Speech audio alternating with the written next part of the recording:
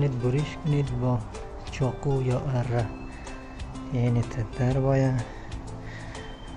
این طرف شمامور هم. اینجاش از ما باز خالیه. یه خورده خالی مانده ایرام لازمه. پر کنیم. و این طرف شم از این که نگاه کنیم. در دید پیدانه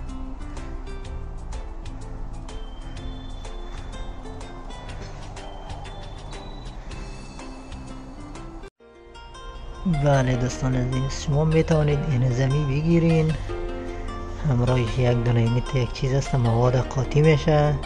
از یک جای ما الان در روی کارتن انداختیم شما می‌توانید ظرف مخصوص داشته باشین و ایره این زی می‌تونید قاطی قد از یک مقدار خوب تا گدوت کنید.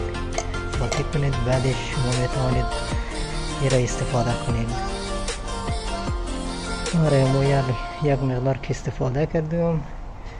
فعلا دینی حالت است. این دوباره لازم داره تا این جاهای خالگی است اینا باید گم شوه. گم شد دیگه. یعنی آماده میشه کم کم.